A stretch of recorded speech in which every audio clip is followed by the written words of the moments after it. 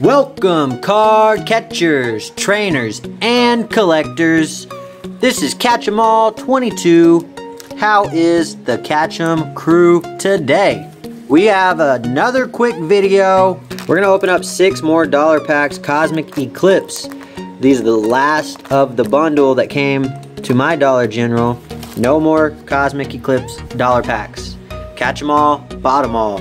So, start opening these bad boys up. Since there's only six of them, we'll go ahead and do the dollar card trick. And if you don't know what the dollar card trick is, let me show you. Take this uh, thing out.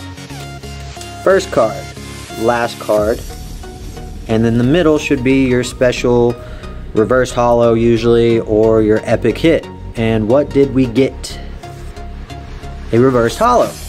All right. Moving on. It is Friday for me, depending on when you watch this video. Doesn't necessarily mean it'll be Friday for you, but I hope everybody's having a good day regardless. Get out of here. And yeah, hope y'all are having a great, great day. We got a rare, non-holo, but it isn't rare. Getting a rare in a dollar pack is saying something.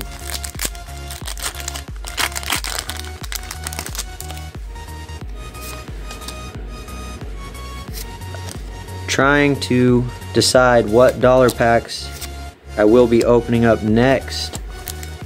I have some Guardians Rising dollar packs I could purchase. I've just never been a really big fan of that set. So I've been holding off on purchasing those and sticking with Cosmic Eclipse because I still need a lot of cards to complete the set. You, just the secret rares really. Carvana, Nana, Nana, Leonhart, yeah. Got two packs left. Can we get anything good?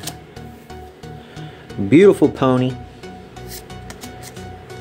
Energy out of here. And a reverse holo. Nice. Uncommon. Down to the last dollar pack of this really, really quick video. Can we make it interesting for the Catch 'em crew? Piplup, Cutie Pie, trainer. And for that ultimate awesome rare. Denied. Cosmog.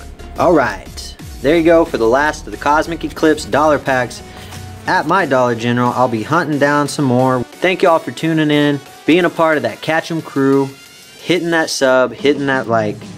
I hope everybody stays safe out there, stay warm, and don't forget, catch 'em all.